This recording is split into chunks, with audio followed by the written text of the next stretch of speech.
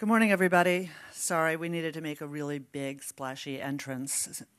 Um, I'm Danielle Pletka. I'm the Senior Vice President for Foreign and Defense Policy Studies at the American Enterprise Institute. I'm really delighted to, that you're, to have you all here today with us to talk about, more broadly about, uh, about Arab armies, but more specifically, I hope, a little bit about uh, Ken Pollack's new book, Armies of Sand, which, uh, which the title is really a bit of a dead giveaway for all of us. Um, but for those of us who, who have observed the U.S. government support for Arab armies over the years, we have seen really, I, I would have said millions, but it's really tens of billions of dollars that we've spent in support, in training, in education, in weaponry, to, as we see in Yemen, as we see in the Sinai, not always spectacular effect.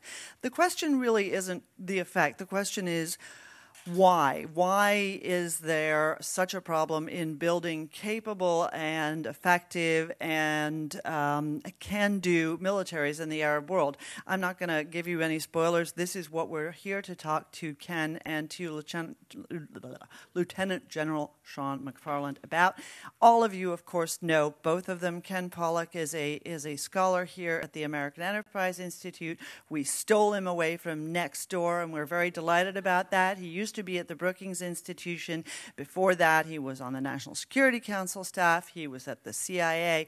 This is his 10th book. Oh my God, I can't believe that. And I'm going to have to cheat because Lieutenant General MacFarland is very accomplished and I can't remember these things as well. He's a senior fellow at Harvard University at their Belfer Center for Science and International Affairs and a senior fellow at the Association of the U.S. Army's Institute of Land Warfare. He told me not to read his resume to you, but I'm going to do it anyway because it's very impressive. Before his retirement in 20, 2018, he served as a commanding general of the 3rd Armored Corps in Fort Hood. He's been deployed multiple times to the Balkans. He's nodding. He remembers it. Middle East uh, and Afghanistan, and from September of 2015 until August of 2016, he was the commanding general of Combined Joint Task Force Operation Inherent Resolve. He's a graduate of the U.S. Military Academy, and you have the Combat Action Badge. I can't, I can't not put this in there. This is this is too good. Combat Action Badge of the Defense Distinguished Service Medal, two Legions of Merit, and three Bronze Star medals. How could I not put that in there? I know he's nodding and blushing what we're going to do today is Ken's going to come up and just really give you a short talk uh, about the book and about issues surrounding the book. And then Lieutenant General MacFarland and I are going to come up here and we're going to have a conversation with each other, but also with you about the issues surrounding it. So, Ken, thank you very much. Thank you, Danny. Uh, thank all of you for coming out this morning. And yeah, my goal is really to just um, give you some context for the conversation that we're going to have about building a better mousetrap or building better Arab militaries. Um, and so I wanted to use the book to give you a little bit of context about how to think about the wider set of problems in the region. Um, for me, this whole topic began 28 years ago. Uh, I was a young CIA analyst. I had just written the CIA's postmortem on Iraqi strategy and operations during the Persian Gulf War. And that was a monumental effort. It was a massive project. And when it got done, I had to kind of go back to my day job. I had to kind of clear my inbox. And one of the things in my inbox was a paper on the Syrian military written by our Syrian military analysts. And I had to clear off on that because it had some things about Iraq and Iran in there. And as I was going through it, what was striking was that the Syrian military analysts were talking about all of the problems that the Syrian military routinely had in combat. And they were the exact same problems that the Iraqis had. Right? And I remember thinking to myself, yeah, that is just fascinating. They have this exact same set of problems. They are crippling for the Syrians as they were crippling for the Iraqis, and crippling for the Iraqis both during Desert Storm and during the Iran Iraq War. What's going on here? Right? What's, what's exactly is, is the problem that they're both dictatorships? Is the problem that they're both pretty underdeveloped societies? Is it that they rely on Soviet military methods? The Syrians a lot more than the Iraqis, but nevertheless there's some influence from the Iraqis as well. Was it the fact that they're both Arab countries? What was going on here? And 28 years later, I've got this book which does explain all of it, right, and goes into it. And this, the starting point for the book is, not surprisingly, uh, the impact of Arab societies, right? And Raymond Aron once made a, a really insightful statement when he said that all armies are the product of their societies right? And at some levels, that's obvious, right? At one level, that's kind of an easy, obvious thing. You know, I say it's like, yeah, of course, right? How could it be otherwise? But of course, the problem is that for many decades, perhaps even centuries, uh, Western military analysts in particular have tended to disregard that. Right? And what we've mostly focused on are questions like how many tanks has this force got and how good are their tanks? How many planes have they got? Even things like, you know, what's their doctrine, what's their training, not recognizing that the training, the doctrine actually grows from those societal factors. Right? The more that you look at armies, the more that you look at military history, the more that you recognize that every army works in a somewhat different fashion.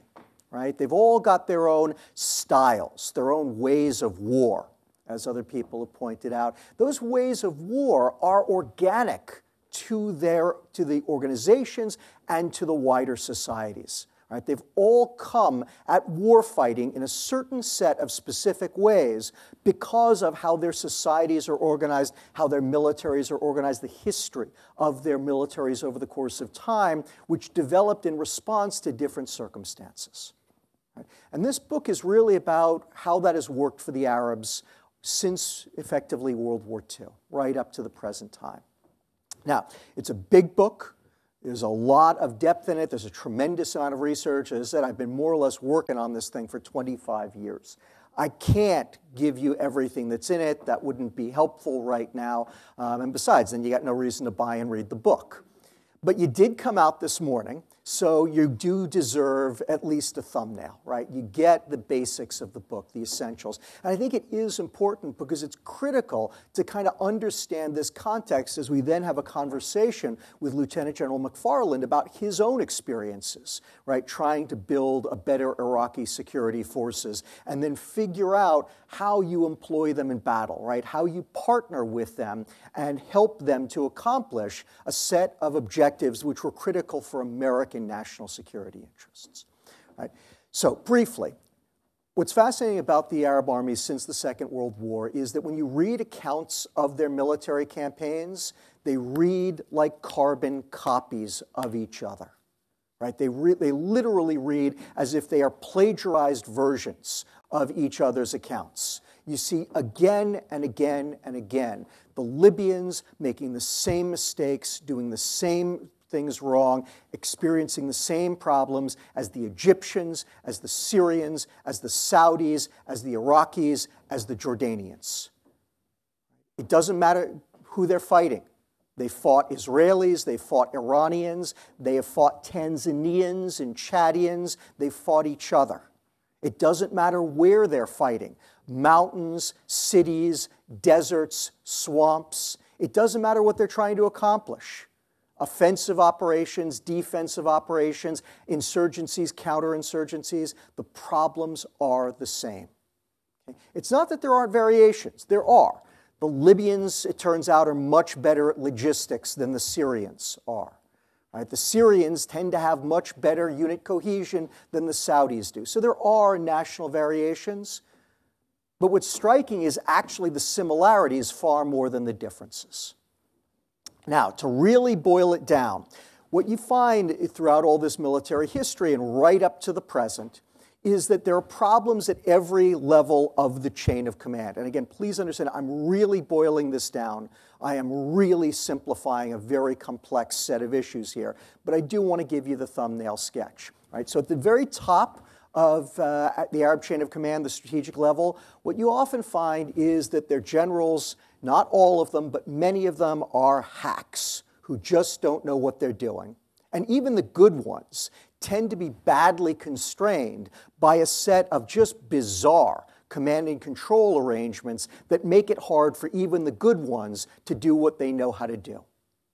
At the bottom of the chain of command, the enlisted personnel, what you typically find there is that the, the guys, and they're all guys, at the bottom of the chain of command really have no understanding of how their weaponry works and what it takes to service and maintain them. And as a result, oftentimes they just can't bring as many weapons as they have to bear in battle because too much of the stuff is broken and, you know, in maintenance depots. And even what they can bring to battle, they oftentimes don't really understand how to get the fullest extent out of those weapons.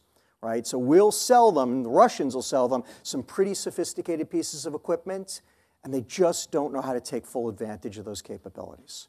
Right? And then finally, in the middle level, right, which turns out to be the most important set of problems at all, the middle managers, the field grade officers, and the NCOs, what you find time and time again is that there are tremendous problems with passivity, with lack of initiative, with lack of imagination, right?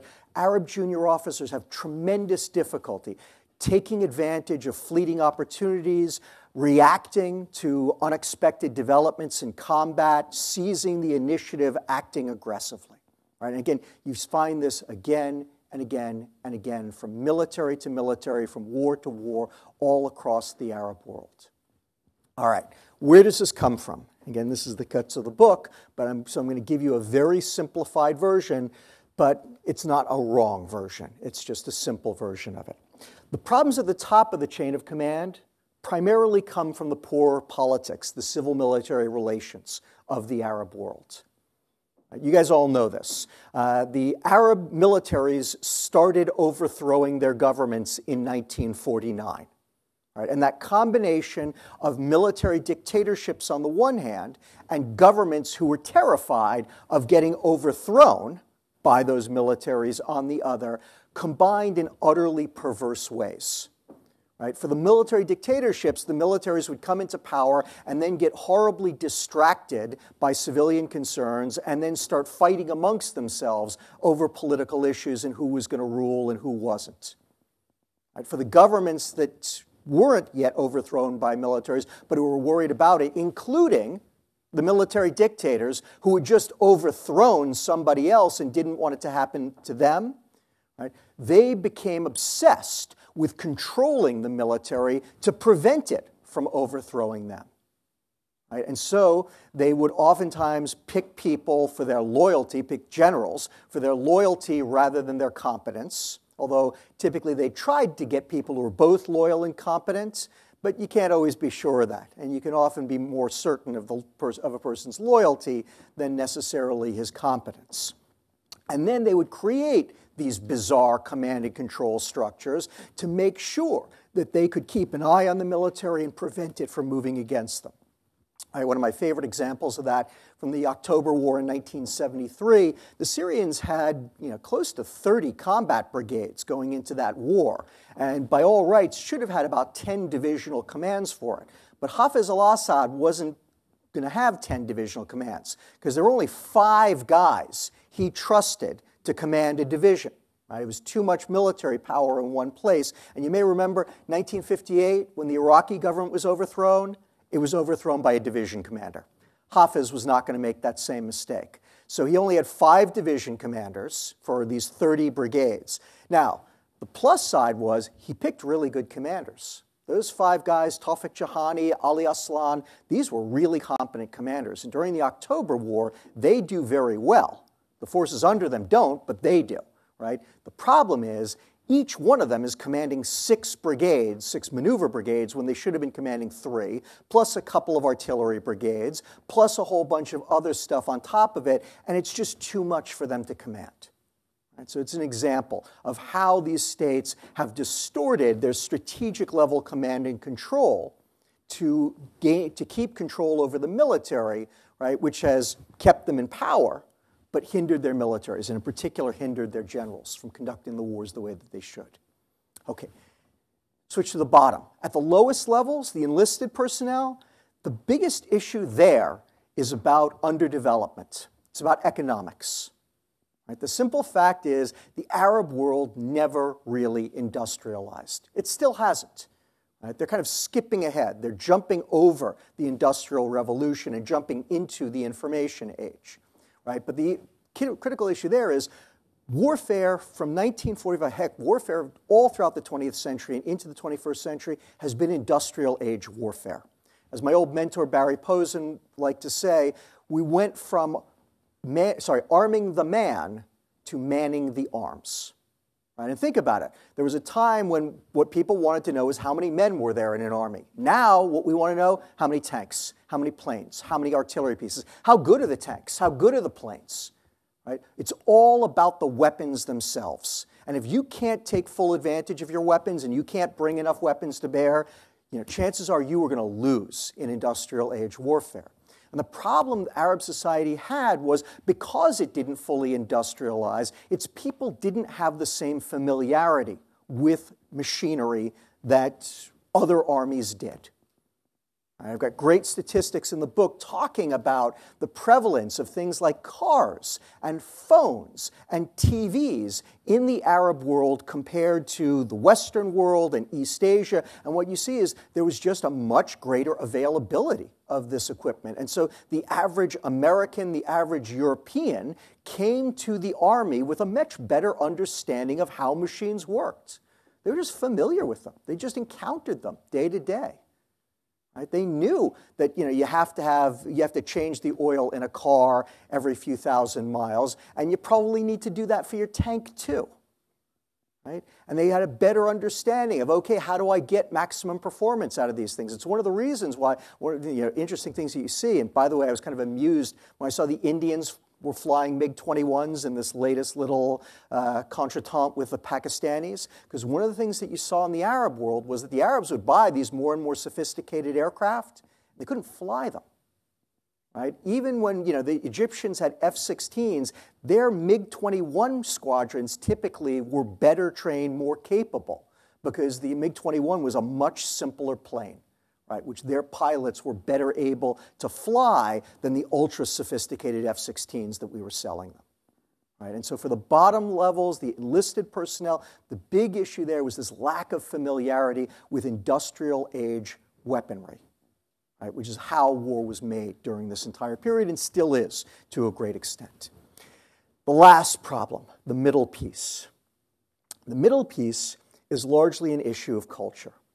Now, I spent a lot of time in the book talking, you know, laying out the caveats, right? Culture is a very sensitive topic. And as I say in the book, working with culture is often like working with nitroglycerin, right? It may be necessary, it can be extremely useful, but if you aren't incredibly cautious with it and you aren't very respectful of it, you can do a lot of damage, right? I can't give you all of the caveats that I give you in the book right? But I am going to try to be careful with this subject. And there's a lot to this, and it affects things in a variety of different ways. But the easiest way to understand the issues that Arab culture has produced for Arab militaries is that understand that every society has organizations, has hierarchies, right? We all have them. But everybody's hierarchies function differently. Right? For those of you who've been to Japan or Germany or Brazil, right, you know that their organizations, their hierarchies just function differently from ours. Right? And a simple way to think about it is some societies have more bottom up hierarchies, some have more top down, some are from the middle out, some are kind of hybrid systems, right? But they all function differently how people are taught to behave when they're at the top of a hierarchy, when they're at the bottom of a hierarchy, when they're in the middle, how they're relating to each other, to their superiors, to their subordinates. All of that is driven by a society's culture. Right? And again, every society has different ways of doing that, and they all work for those organizations in their own context, right? The thing about culture is that culture is the response of a society to its environment, to its circumstances. Literally, its physical environment, its historical experiences, all that kind of stuff. So it always works, right? Because there's a Darwinian process that produces the way of doing things that's best for that society in those circumstances. The problem is, warfare is a competitive activity. And it pits one set of organizations from one society against the organizations of another. Right? And who wins is determined by the logic of warfare at that moment in time. Different kinds of warfare, different periods of history have demanded different skills from the militaries to succeed. Different points in time, you know, if you wanted to win in combat, you had to be able to do this. And at another time, doing that same thing would be a huge disadvantage. The issue that the Arabs have had in the 20th century, their biggest set of problems is that the way that Arab society, the way that Arab culture organized their hierarchies worked for them in their own context. The problem was it did not mesh at all with industrial age warfare. What industrial age warfare called for, the skill sets required by industrial age warfare, were the exact opposite of the skill sets produced, encouraged, emphasized by Arab culture. And the easiest way to understand that industrial age warfare is all about bottom up command structures. Right? This is what the Germans first figured out in the two world wars, and what, every, what the rest of us all had to learn painfully from their example. Right? You build from the bottom up. It's all about the guys at the point of the spear who recognize opportunity, who take advantage of opportunities, right? Who are able to drive the train forward.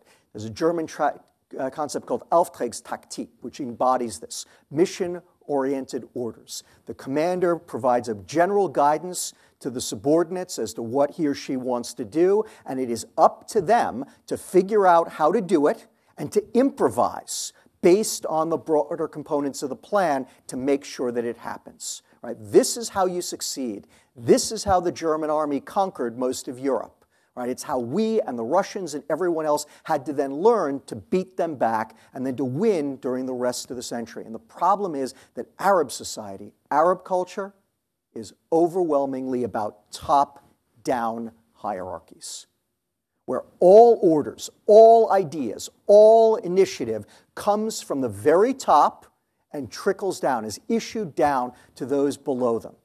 And those lower down in the chain of command, they are not expected to think for themselves. They are not expected to show initiative, to be aggressive, to try to fix the problem, to try to come up with solutions. Their job is to simply wait for orders. And that has been the killer for Arab armies all throughout the 20th century and on into the 21st. Now, there's a lot more to it than that, but that gives you at least the basics of what has been going on and why the Arab armies have had so much difficulty over the last 70 years. Right? But it's also worth thinking at the fact that this is kind of time limit. And I hope one of the, the questions that we're going to talk about with General MacFarland as we get into it is what's changing out there. Because the truth is, things are changing. The Middle East is changing, the Arab world is changing, and warfare is changing. The war that he waged in 2014, 15, 16 was very different from the war that he fought back in 2006, 2007, and certainly very different from the wars that you were contemplating thinking when you first came into the Army. Right? And so the real question for us is what can we learn from those experiences and how do we apply it in the future? And can we build the Arab armies, our allies, into a more formidable force, or are they just going to remain armies of sand? Thank you all very much.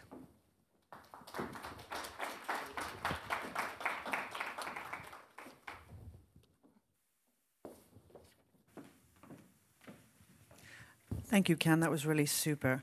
Um, I want to give you an opportunity to talk a little bit about what Ken just laid out for us. You've got the on the ground experience. Um, he painted a really damn depressing picture. Uh, does that accord with what your what your experience was on the ground? Um, well, of course. I, I, mean, one of the things I did when I was uh, commander uh, of Operation Inherent Resolve, uh, one of the first things I did was invite Ken over to, to help me uh, understand the operational environment uh, that I was uh, facing because I did recognize that things had changed since 2007 when I'd last been in Iraq. And uh, what uh, he laid out was, um, was uh, accords very closely with my own observations. And prior to coming in here, I, I, I told Ken that uh, one of the things that I did as a one star in the Army was we looked at the profession of arms within the United States Army as a study and the importance of uh, some of the key uh, attributes of any profession, and particularly in the Army, is trust. And all the things that Ken was talking about uh, erodes trust. And in a combat situation what gives you flexibility uh, uh, and uh, the uh, ability to be aggressive uh, in dangerous situations is when you trust your chain of command and you trust the people to your right and left.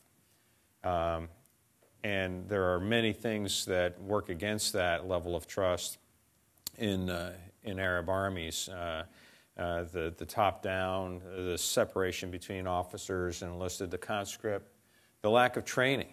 Uh, you know, and now it's not uniform. There are pockets of uh, high performing units, and in Iraq, what we saw was the counterterrorism service, the CTS, was a the, the highest performing force on the battlefield, much better than ISIS or the Peshmerga or anybody else. Um, why was that? Well, they had a higher level of training. Um, they had, to a greater degree, set aside their own uh, internal um, differences in terms of uh, sectarian backgrounds and so forth. They were a truly national force, or as national as any force can be in Iraq. And uh, they were uh, you know, very. Uh, well trained uh, compared to others, and, and that, that level of confidence uh, and trust in one another and in their officers who uh, spent a lot more time with them and shared a lot of the sacrifice resulted in a higher degree of commitment that was manifested on the battlefield. Um, uh, just a quick data point of the 14 battalion commanders that started the war in the counterterrorism service, all 14 were killed in action. Um, that happens when you lead from the front. And s- soldiers will follow their officers almost anywhere. Um, they won't necessarily go where they're told, though. Um, you know, they, you have to, if you're leading them, they will follow. Um, if they trust who you are and where you're taking them. And they knew those, those officers, uh, they knew that they were well trained and dedicated and had the same values as they did. So they followed them. And uh, without the CTS, I don't know where we would be right now. We would probably be still sitting somewhere outside the outskirts of Ramadi uh, in Beji uh, trying to hold the line.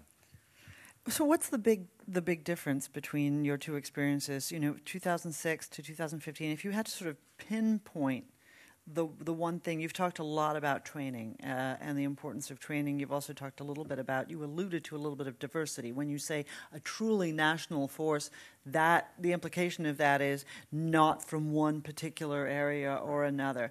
Um, try and pinpoint it a little. So the um, 2006 2007, I was in Ramadi and. Uh, I started out up in Tal Afar in Nineveh, West Nineveh province in the north, and then uh, dealt a lot with the Kurds and folks like that. And then I came down south uh, to Anbar province where it was more heterogeneous uh, situation. Uh, very few Shia, almost all Sunni, and very tribal. And um, the tribes, of course, uh, have their own internal dynamics, and I won't go into that because uh, that's very complex in its own right but at least they were mostly Sunni and they were dealing with a Sunni threat from within. And the, the secret to uh, defeating that was to get the, the Sunnis to uh, have a common cause against the, the terrorists, the Salafist terrorist threat, the Al Qaeda in Iraq, uh, which became the Islamic State in Iraq. Um, and also to give them a sense of uh, uh, confidence in their ability to police their own ranks without having to bring in uh, the Shia, predominantly Shia Iraqi security forces. So they began to populate the police and uh, form their own tribal force and actually populate the army divisions, particularly the 7th Army Division out in Anbar province. And so they felt like the Iraqi security forces were uh, in Anbar and West Nineveh were really their own Iraqi security forces, and they had trust and confidence in them, and that worked well. Well, after we withdrew from Iraq uh, in 2011, Nouri al-Maliki uh, purged most of the, the Sunnis out of the Iraqi security forces. They became Shia, uh, overwhelmingly Shia, and when uh, ISIS uh, invaded basically, uh, although it's complicated because they really started in Iraq, went to Syria, and then invaded from Syria back into Iraq. Um, but anyway, when they swept into Iraq, the Shia felt like uh, they, the Shia security forces felt like they were not really um, on their own home turf. They were strangers in a strange land, surrounded by Sunnis or Kurds, um, and uh, and the Kurdish, predominantly Kurdish divisions in the north, kind of withdrew north of the old Green Line and became Peshmerga again, and the Iraqi security forces, uh, let's just say, rapidly withdrew uh, towards Baghdad, and uh, and the result was the extension of the caliphate, more than doubling in size. So that um, was the situation when I arrived in Iraq. That uh, that, that you know, the, the lack of cohesiveness, the lack of trust in the Iraqi security forces, and to an extent within Syria, uh, the Syrian regime forces had created this opening for ISIS. And, uh, you know, uh, we obviously had greater success in putting Humpty Dumpty back together again in Iraq than the Russians did in Syria. I mean, we had to take over about, you know, half of the battlefield in, in Syria and get that back too. So it's a uh, very complicated question that you ask, uh, but the, the difference over time, that if I had to put my finger on one thing, I'd say Nouri al-Maliki.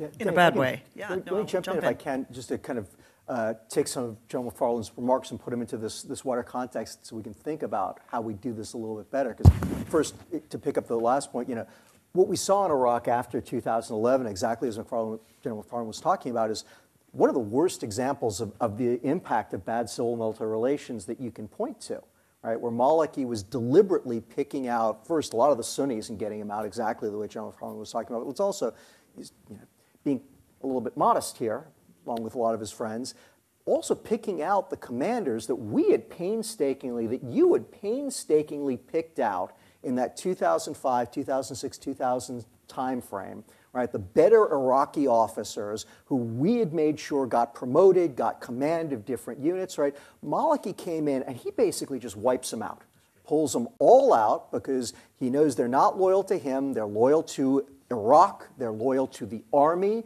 they're loyal to the mission, right? He doesn't want that. He wants people who are loyal to him. And so he takes all of the guys who we pulled out, all of our rejects, and says, puts them back in along the lines of now you're my guy, right? I put you back in, so you're my guy, right? That horribly politicizes things. And then you know you see this collapse. One of the interesting things about the collapse in 2014 is it's a top-down collapse. So one of the first things that happens is when ISIS starts coming in, all of the senior officers, all the generals, they just abandon their men. Right? We've got these great stories from these Iraqi companies and battalions who were stuck out there in Anbar and Salahuddin for a week or more, just kind of going, what are we supposed to do now? Right? Our generals abandon us. We're not getting any supplies. What do we do? And it's kind of fascinating is how long it takes them to break up, right, and to fall apart.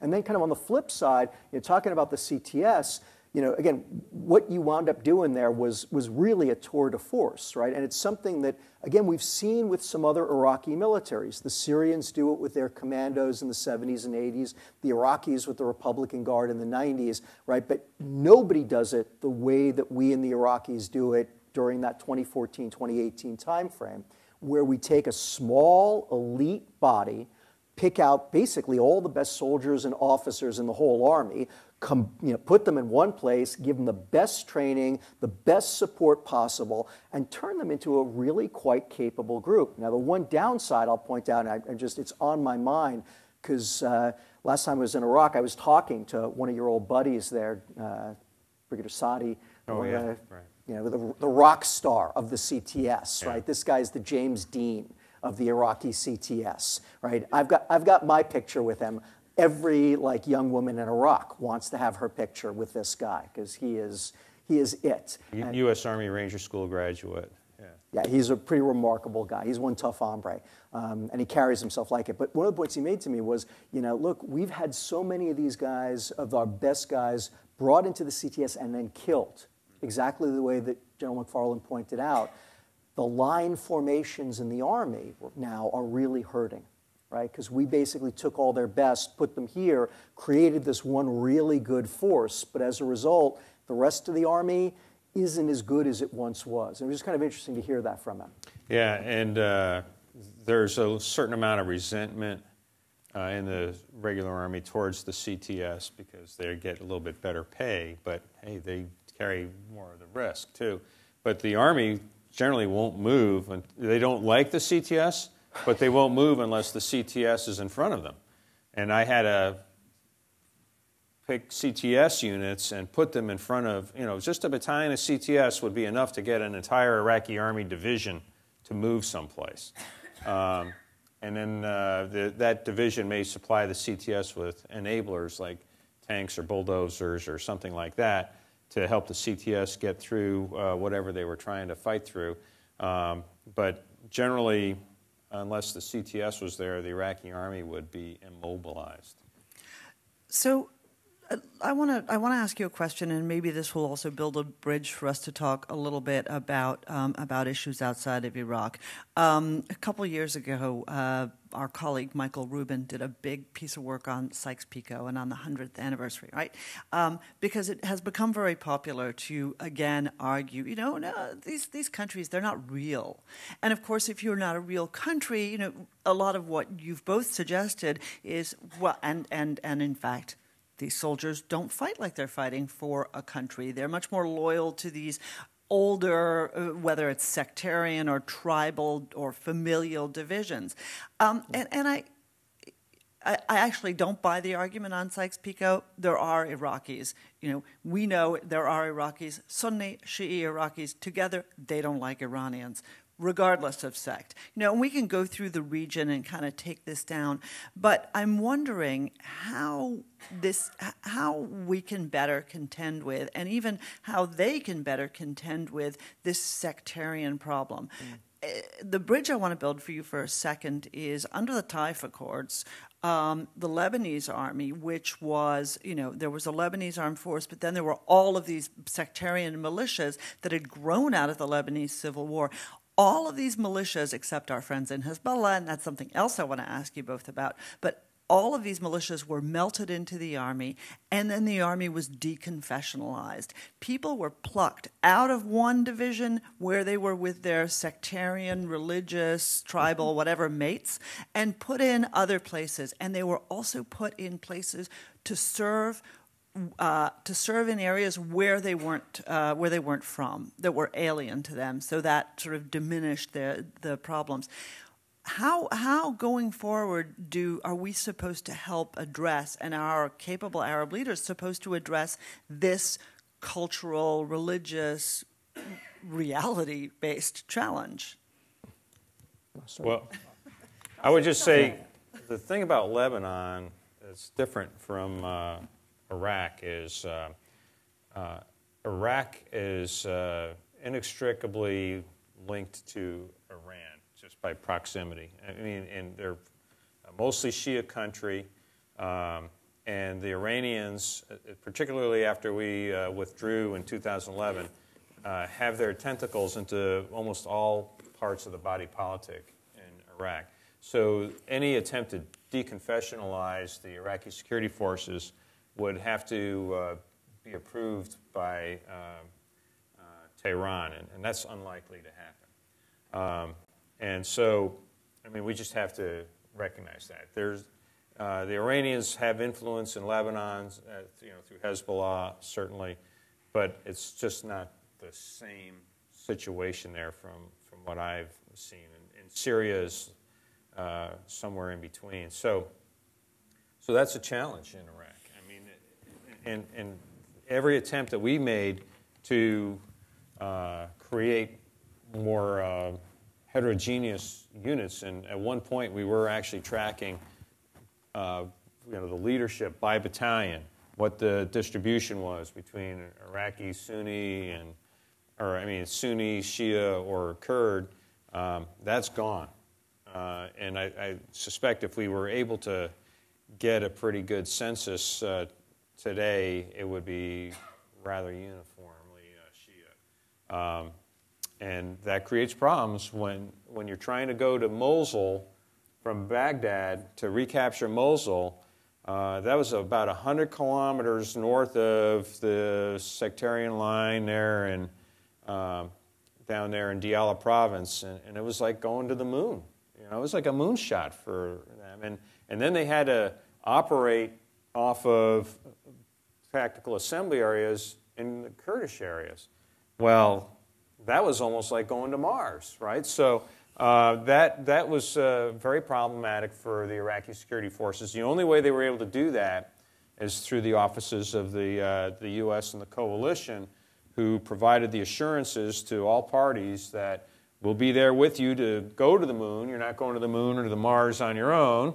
Uh, so the Martians or you know won't won't uh, uh, you know come out of the from behind rocks and attack you, and break break assure the Martians or the Kurds, hey, uh, this uh, uh, foreign body that we're introducing into your system will you know won't spread and, and, you know and create more problems. so so that was a critical role that we were able to play. And by the way we were able to assure the Iranians indirectly, obviously, not directly, but indirectly, that uh, there were a set of rules and a purpose for what we were doing and, uh, and a focus. And uh, we weren't trying to just stir the pot.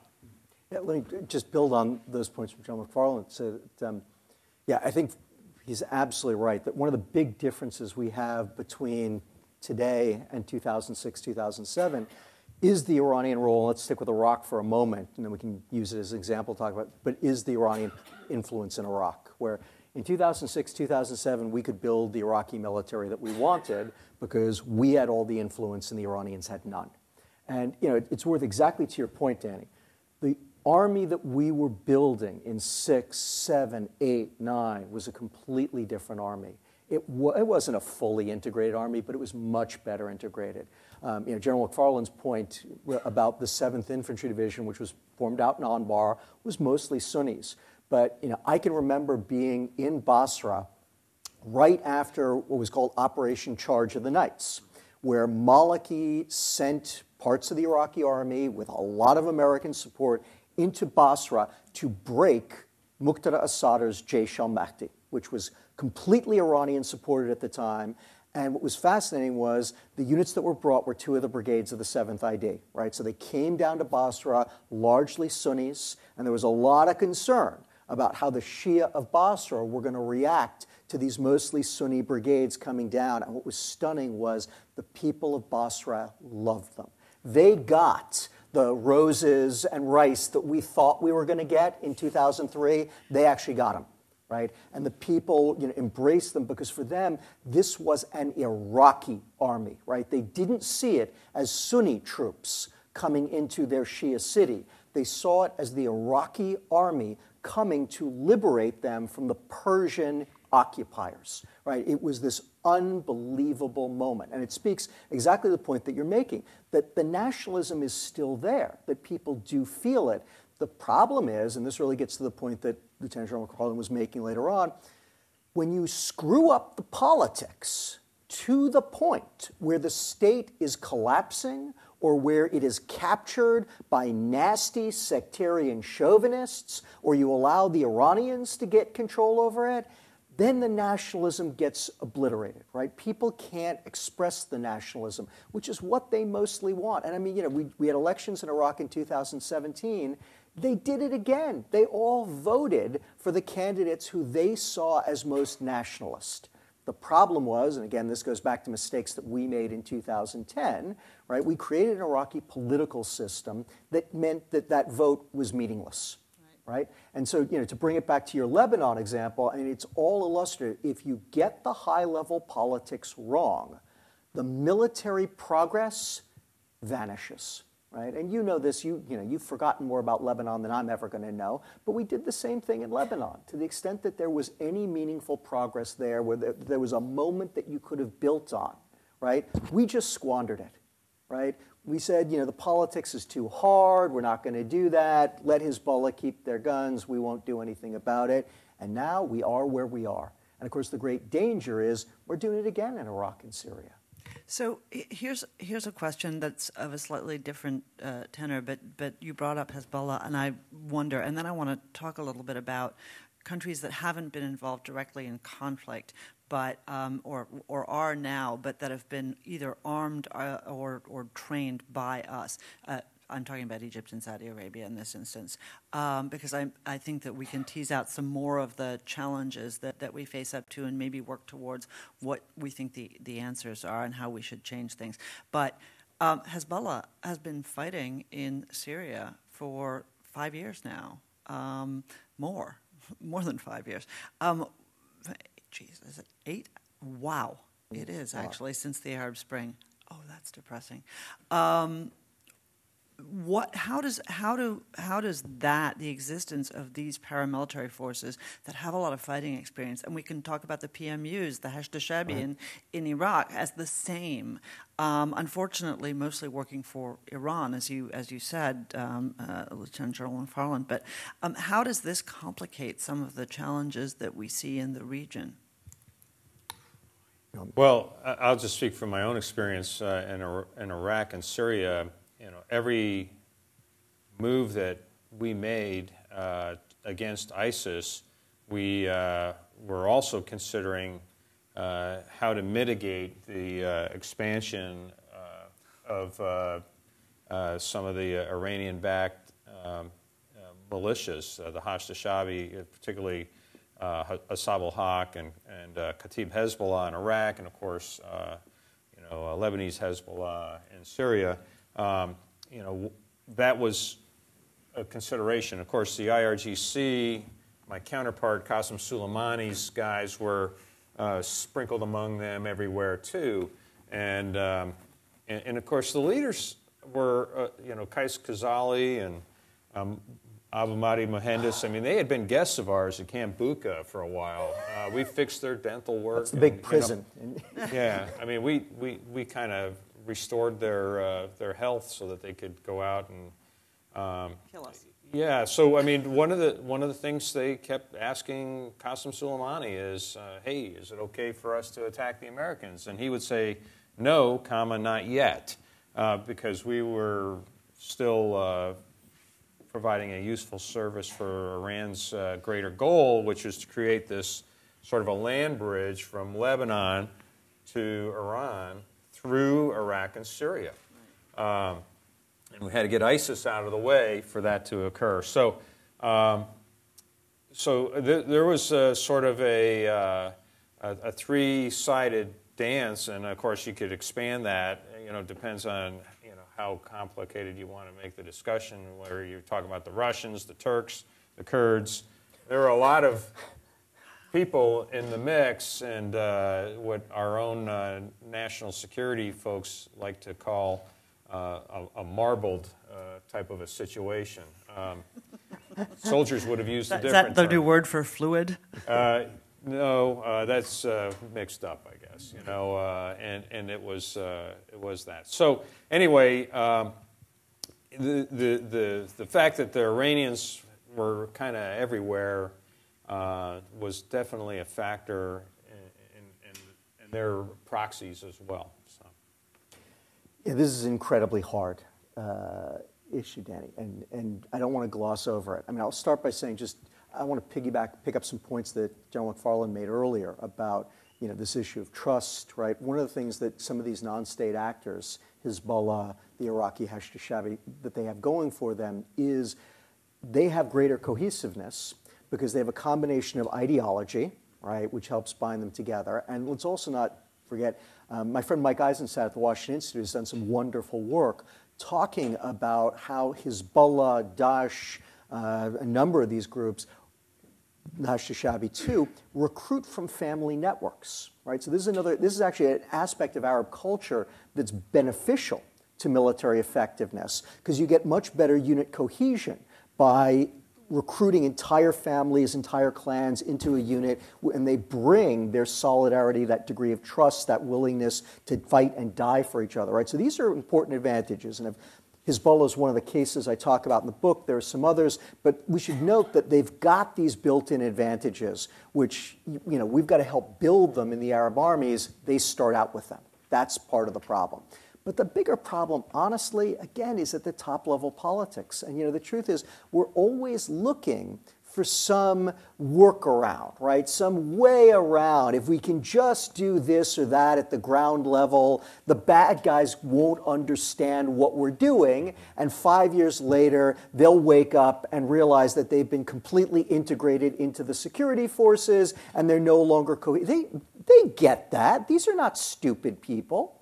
Hadi al Amri and Mohandes and Qais Khazali, they know exactly what we're trying to do mm-hmm. right? And the bottom line is that you know that is one of these absolutely critical issues, which you know the Iranians figured this out, and they've got you know we sometimes talk about a Hezbollah model. I think in Iraq it's actually a Revolutionary Guard model, mm-hmm. right? But the bottom line is until you are willing to take on those top line political challenges, you know there's nothing in the world that the Sean MacFarlands or the Paula LaCameras, they, you know, the, there's nothing in the world that they're going to be able to do to fix things. Okay, I want to open uh, uh, things up to questions, but I also don't want to let either of you off the hook. I've got two questions because we are blaming a lot on the Iranians, on sectarian differences, on these conflict zones. Okay, but I got to tell you, you got none of that in Saudi Arabia. You got none of that in Egypt. These are remarkably uniform ethnically, uh, um, you know, in every other way, religiously. And yet, performance wise, God. yeah. uh, okay, what you talked about this in your presentation, but I mean, again, you know, what what what do we see, and is there, and is this also a politics problem? Sure. Let me. When I start, yeah, please. Yeah you know, I've been working on the Egyptians and, and, Saudis for a long time too. And again, I talk about both of them in the book, um, the Egyptians in particular, because you know you look at them from 67 to 73, and there's some improvement, but it's kind of interesting and weird. And then, of course, after 73, it's just kind of a long descent.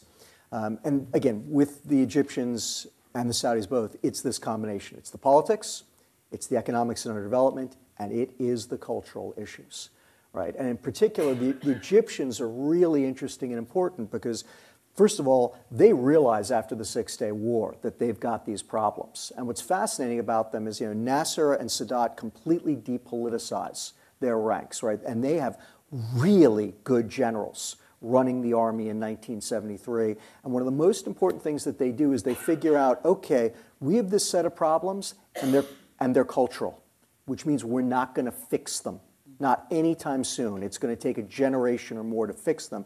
So we have to come up with workarounds, right? And they do some fascinating things. Just really quickly, because it's a great one. So one of the things that they figure out is look, because of, of the system and because of these concepts of honor and shame, and I, you know, there are many people around this room who are very familiar with the Middle East and they've experienced this, you have severe problems of information management in all of the Arab armies. Right? And again, the, the Egyptian general staff after 67 understands it. They know that their military was lying left, right, and center all across the force in 67. They got to do something about it, but they understand this is a cultural trait. They're not going to fix it in time to take on the Israelis. So they come up with something unbelievably clever.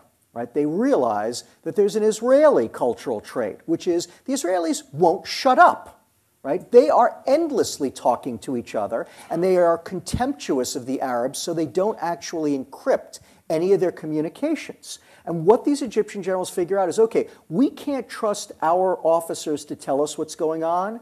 We can trust the Israelis to tell us what's going on. Because the Israelis are incredibly honest, ruthlessly so, right? They're obnoxious about it. They won't shut up, they won't encrypt. And so the Egyptians build a massive signals intelligence collection facility on this mountain called Jebel Ataka, which runs along the west side of the canal. They just festoon it with antennas. They train all of these Hebrew language speakers and they put them there co-located and during the early days of the october war they're just picking up all the israeli comms translating them in real time and then feeding that back to the high command so they know what's going on right it's one of the reasons why early on the egyptians do well but on July, sorry, on October 14th, when the Egyptians make their main secondary offensive, the Israelis start the day by plastering Jebel Ataka.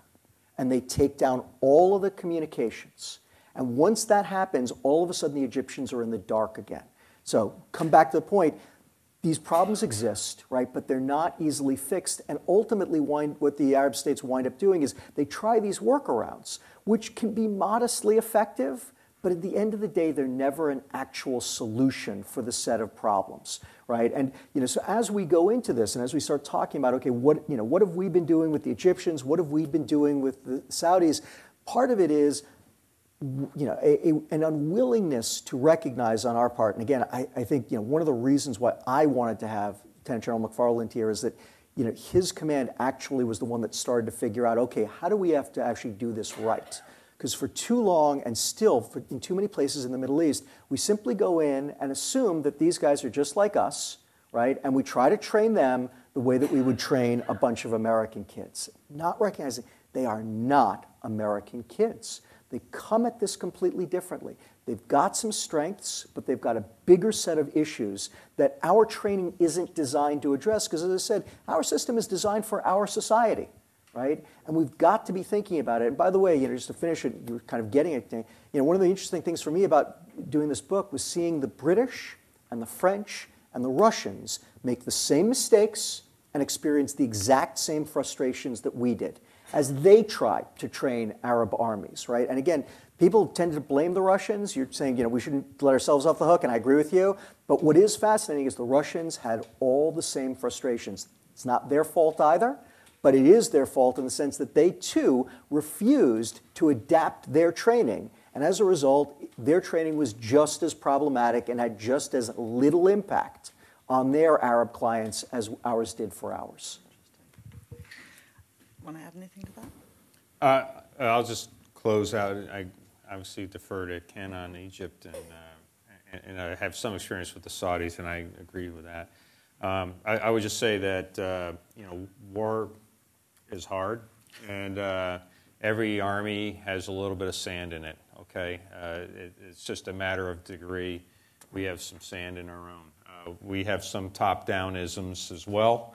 Uh, they hindered our ability, I think, in 2004 and 5 and, and, until and through 2006 to react to the reality that we saw in Operation uh, Iraqi Freedom. Uh, what sustained us was we got it right at the lower level, uh, even though we were struggling at the top level. And our young soldiers, non commissioned officers, uh, junior officers uh, held our Army together and our Marines together um, even while uh, uh, we leaders were still wrestling with the, you know, coming to terms with the right answer uh, to that fight. So, you know, we're fortunate to have a society that creates that kind of a, a junior uh, echelon that can sustain us when the top echelon is not up to the task. we eventually got it right It took us longer than it should have, though. So, you know, like I said, we all have a little bit of sand in our arms. Very graciously said. Why don't we open up to questions? Um, and if I can just ask you to follow our rules, which is a, I'll call on you, wait for a mic, um, give us your name, even if even if you know we know you, um, and uh, and keep your brilliant statement in the form of a question. Mike, Mike's coming here.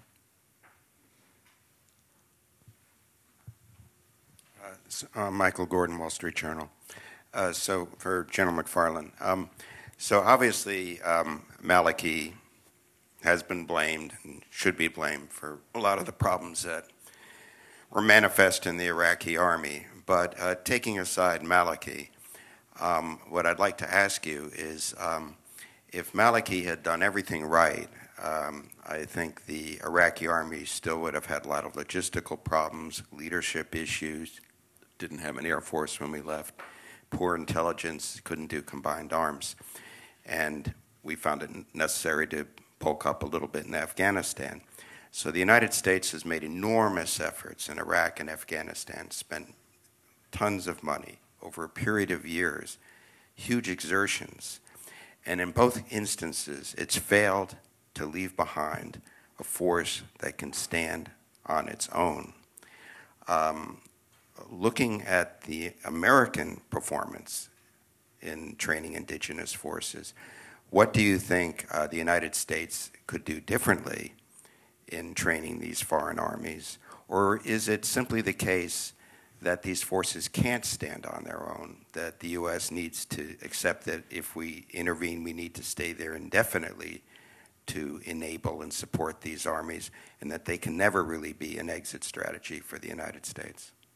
Uh, taking your the second part of the question first, uh, whether or not there's an exit strategy, uh, I would say that's at this point unclear. I, I, would say that for the foreseeable future, we need to stay engaged.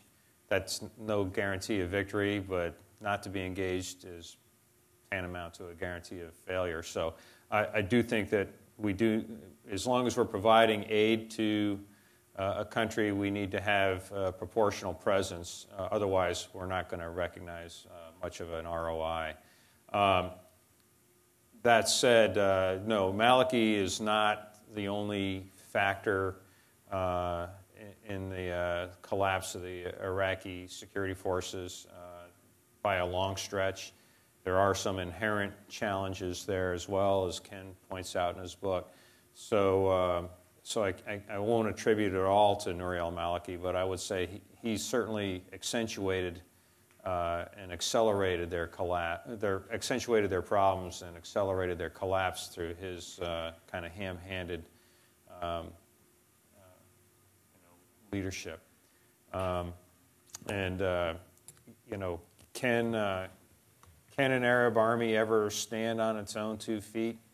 Um, defeat? Look, you know, you don't have to be, I used to say this, you know, you don't have to be faster than the bear. You just have to be faster than the other guy that the bear is chasing, right? You know, so we don't have to train Arab armies to be as good as we are.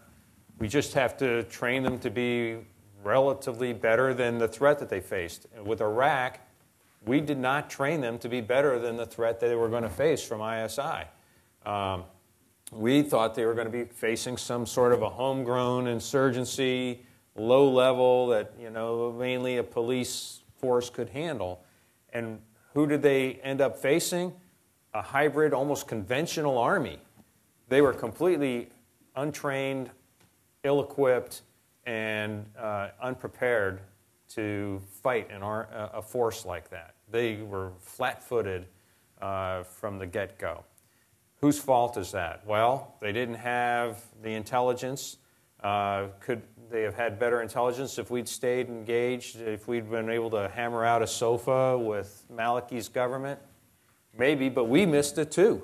We were calling them the JV team while they were, uh, you know, running all over the place. So, uh, you know, again, no guarantee of success, but um, having us there certainly improves the odds.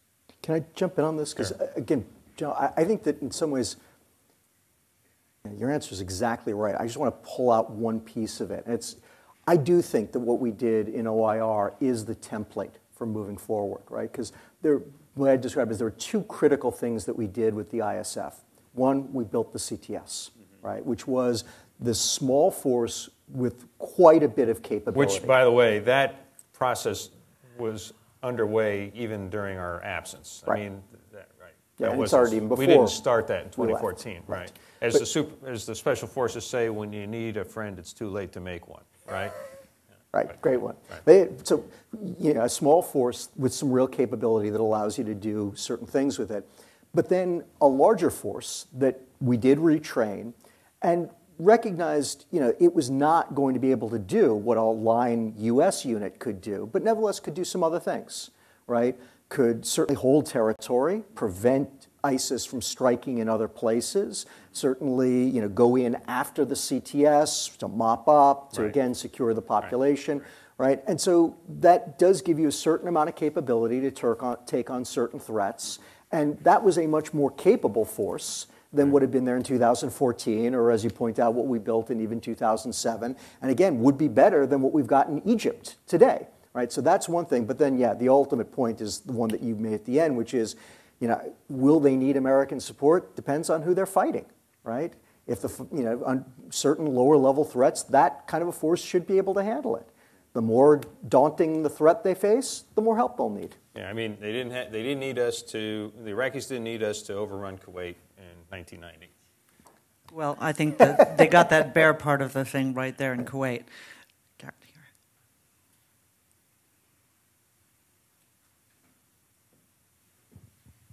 Uh, thanks very much. Um, I'm Garrett Mitchell. I write the Mitchell Report uh, and read all of Ken's books.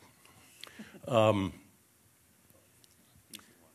on no less than four or five occasions, I, Ken has begun a sentence by saying, when you get the high level politics wrong, dot, dot, dot. Uh, which has uh, me thinking a lot about countries that get their high level politics wrong, and that um, it's arguable that we are living in one. Um, added to that, um, we are seeing levels of partisanship and polarization at the citizen level between families uh, that uh, uh, I think none of us in this room have experienced. I'm not, I'm not trying to feign a, a, a question on this. What I'm saying is, is it your, your closing comment gave me some level of, of comfort that um, you know the, the, the troops will, will get us through.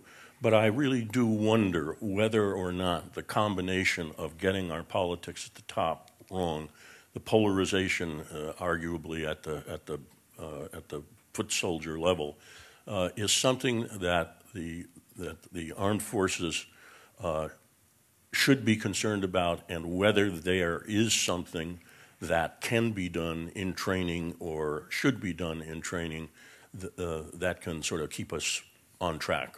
So, yeah, absolutely, and we do that. Uh, it, it, you know, my last job in the Army, I was the deputy commander for the Training and Doctrine Command. So, all the recruiting and all the initial entry training was under Training and Doctrine Command, and and it is something that we do focus on.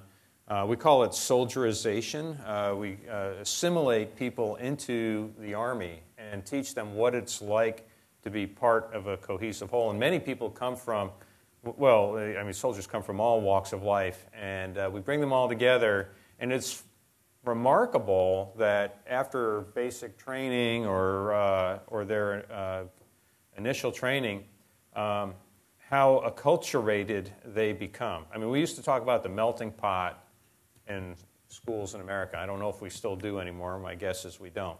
Um, and uh, I mean, I just heard uh, a statistic uh, recently that uh, about 80% of American kids uh, consider themselves as just plain old Americans before they enter high school, and about two thirds of them, about halfway through college, become hyphenated Americans. Uh, we remove those hyphens in the Army uh, in the military. Uh, you know, you're a soldier. Next question. You know, you got, we all wear the same patch on our right shoulder, uh, the American flag, and that's what it's all about. Um, and, uh, and, and that's, that's a process that most armies do not uh, really go through. Probably don't have to go through it in some armies where everybody is monolinguistic, monoethnic, or whatever, you know, Finland or someplace like that. But in the United States, we do. They should go through it in Arab armies, but they don't. Um, and, and that's a significant difference. Is it getting harder in the U.S. military to uh, assimilate everybody and get everybody on the same plane for the same team? Yeah, it is. Identity politics is a cancer. Uh, and, uh, and an army is a reflection of its society. And, if, and we have seen what balkanization looks like. I've been in the Balkans uh, uh, multiple times, and, uh, and in uh, Afghanistan and Iraq. And, and, it's a dangerous path that we're moving along. And eventually, it's going to become too hard for us to fix uh, in the military. And the most important thing to remember, of course, is that when you're in the Army, there really only is one enemy, and that's the Navy. That's right, beat Navy, obviously. Uh, thank you for pointing that out. Barbara Leaf, the Washington Institute. Um, you know, I'm curious um, in your reflections about um, the fact that uh, not just the U.S., but the Russians, the British, the French have also um, sort of uh, knock their heads uh, metaphorically against a brick wall in terms of trying to um, imprint upon uh, these armies uh, their own um, mindset of what is, you know, culturally ours in terms of training and, and doctrine and so forth. But I wonder if you can, notwithstanding um, what you outlined in terms of, uh, you know, the, the the, push towards an IRGC-like model, standing alongside, parallel to, independent from uh, the Iraqi security forces, and I agree that's the more likely scenario or objective than, say, Hezbollah. Where do you see the Iranians banging into the same stony reality um, and finding that their model does, doesn't take, doesn't imprint? Uh, notwithstanding this smaller unit, Kataib, Hezbollah, et cetera, cohesiveness. We do know that they complain sometimes when they try to do security force assistance about their, the indigenous forces that they're working with. Uh, so obviously, it's you know there are tiers of uh, uh, you know, and, and you know if you're one step up on the you know, one higher rung on the ladder, you're going to complain about the folks one rung lower. We may be talking about some folks that are several rungs below us, but everybody has. The Russians had frustrations in Syria too. So, um, and we had our own. So, I mean, it. Yeah, there are. You know, whenever you're trying to get do something by, with, and through, punch with other people's fists, as uh, somebody once called it. Uh, that that is a uh, that's going to lead you to some frustration, right? I used to say you cannot inflict support on people. You can't necessarily get them to do things that they don't want to do every time. There's a quid pro quo. Uh, if you if I allow you to do this and help you do that, will you help me do this? Yes. Okay. So you work through all of that. Um, if you're rigid, uh, you're going to be more frustrated. Uh, you have to be a lot more flexible. And, and that was one of, kind of the ways we got the awakening started in 2006 was, uh, you know, I, the other uh, metaphor I used a lot was, uh, you know, everything you do when you work with indigenous forces is kind of a judo throw, right? You're trying to use their mass and momentum in the direction they wanted to go against them and trying to get them to go and deflect them into a more productive direction. So, all right, let me kind of let you go this way and then maybe move you over that way a little bit and, and get you to attack that city if I promise, you know, not to prevent you from doing something that you want to do, maybe turn a blind eye someplace else. I mean, that's what it takes. If you, if you try to say, no, everything's got to be my way or the highway, it, it just is going to fail. Let me see if I can add a couple of points onto the, the, the core points that General MacFarland made, which is first point I make, Barbara, is that the Iranians learned as much from Hezbollah as Hezbollah learned from them. In fact, I would actually argue more, especially when it came to, co- to uh, co- conventional combat. And worth remembering, you know, the, the, Iran- the Iranians send 2,000 of their IRGC guys to Lebanon in 1983 to help Hezbollah beat the Israelis. Um, and of course, Hezbollah is not only trying to mount terrorist operations against Israel, they're also trying to wage a civil war, right? They're becoming a, a Shia militia. They send 1,500 of those guys home.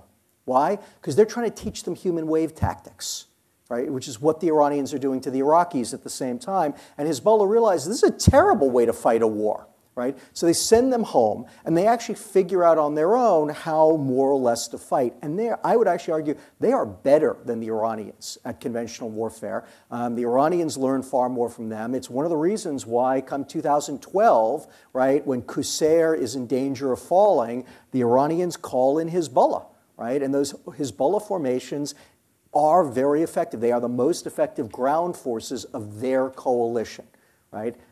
As General MacFarland pointed out earlier, though, I completely agree with him. Their coalition has not been as effective as our coalition. And you look what we did with 2,000 guys and the, the Kurds uh, and the SDF, I think it's been far more effective than what the Iranians have done with 5,000, 10,000 of their guys, Hezbollah, these Shia militias. Now, again, as General MacFarland pointed out, you don't have to be fabulous, right? You don't have to be able to defeat the Wehrmacht or the IDF. You just have to be better than the guys you're fighting, right? And they are unquestionably better than the guys that they are fighting. But you know, when I look at how they've handled their operations and we've handled ours, I actually think that we are we have been more effective than they have been. So again, they've got a model. It works. And last point I'll make, important one. A lot of the success that the Iranians are getting, it's worth noting, the Iranians are teaching people how to do unconventional warfare, right? Which is easier right? In most cases, you're doing unconventional warfare because these guys can't do conventional warfare. If they could, they would. It's much faster, more efficient, leads to a more decisive outcome. The Iranians have to do the unconventional piece because their guys you know, their, their allies aren't up to the task of waging a conventional war. Uh, wow, we've been talking too much. Um, we have a question here and then a question here, and I think we're going to have to. Why don't we start with this young man here over at that table? and then uh, and then over to you, and then you'll be our, our last one, and you guys can grab these two after the session. Thank you, uh, Timur Aladiri, Netherlands Embassy. I was just wondering, uh, we've heard uh, uh, some new plans uh, from the administration for um, about the Middle East Strategic Alliance, which is also has a security dimension, trying to have armies work together. So I was just wondering uh, what advice you would have uh, for the for the White House on this, and uh, how you assess the viability of that initiative. I'll just say one quick thing about that. Um, standing coalitions uh, tend to fight better than ad hoc coalitions. It took takes a heck of a long time to integrate uh, 29, 50, 60 countries into anything resembling a useful military force uh, if you don't start with some sort of a common level of interoperability, understanding, uh, policies and procedures in place. In NATO, we have the standing NATO agreements, STANAGs, uh, and, and, things of that nature. Um, you know, take, you'd be surprised. The simple things are very difficult when you're trying to assemble a coalition to fight a threat. Um, why was NATO created? Uh, you know, uh, Lord Aston said famously to keep the Russians out, the Americans in, and the Germans down, right? Uh, why would you want to create something like that in the Middle East? Well, to keep the Iranians and now the Russians out, maybe, of some of the Arab countries, to keep uh, the uh, uh as radical Islamist uh, terrorist organizations down, and to keep the Americans and the Western allies in, right? So is that a, uh, a cause or a, a, reason to create something like that? Sure. Are there problems with that? Absolutely. Um, you know, but uh, it might be worth a try. As General Petraeus said, you know, hard isn't hopeless. Over here. Thank you. No, no, other side. Sorry. Sorry. Kim Dozier, Daily Beast. So, uh, General MacFarland, um, if you explained that one of the ways that the CTS won was by the leaders going into the lead, and that that works with this hierarchy structure within Arab militaries that Ken had described. Does that mean you're destined to train people who you're going to lose? And then one for Ken. Um, you said that Arab militaries hadn't learned from that German army dictum that you've got to set commander's intent and let the guys on the ground or the women on the ground carry it out. What Arab army is closest? And then a last thing on your comment about the US led coalition seemed to do better than the Iranian led coalition. Didn't air power, in a sense, serve the role as the CTS that provided everyone um, the courage they needed to move forward? So, simple answer to your first question yes, it is. That's what war is. I mean, Sherman said war means fighting and fighting means killing. And you can't refine it any more than that. So uh, we train our own soldiers uh, in the same way. We expect them to carry on with the mission uh, even in the face of losses. Uh, and you know from your personal experience uh, that that's what we do, right? Uh, in, in, Iraq, and, and that's what we have to train. Any, to be effective, that's what you have to be able to do. You have to be able to fight even when you lose uh, leaders. Somebody else has to step up and take that place and carry on with the mission. So very quickly, Kim, I'm going to start with your second question first. So the issue of air power. You're right, the air power is very effective, but let's remember the Iranian coalition had Russian air power which wasn't as effective as ours. Um, and again, you still have to learn how to work with the air power, right? I mean, I can remember early days, one of the things that General MacFarland did was to figure out, okay, how do you use air power in these circumstances where, frankly, we're mostly relying on Iraqi ground forces and Syrian ground forces, not American ground forces, right? That's a very yeah. different or, kind of thing. Or, or third party type of organizations like the Hashd al-Shaabi, uh, where you, know, I, you, you wouldn't want to provide air support to Kataib Hezbollah but you want to kill ISIS fighters. And we had to work through a process to do that. So again, I would say it's, it's more even on the two sides because the Russian air power was also there in quite a bit of force. I just think we found, it, we found ways to use it more effectively in support of our indigenous ground forces than they did theirs. Um, on the, the bottom-up tactics, Auftragstaktik, the, the kind of uh, you know, German model, the issue is less that the Arabs don't recognize it. They do. Right? One of the interesting things is that at various points, various Arab armies have tried to teach it. Right? They've either had us teach it, or the Brits teach it, or the Russians teach it because the Russians understand it too, or they tried to teach it themselves. Right? And the problem wasn't that they didn't understand the need for it. The problem was it never took purchase.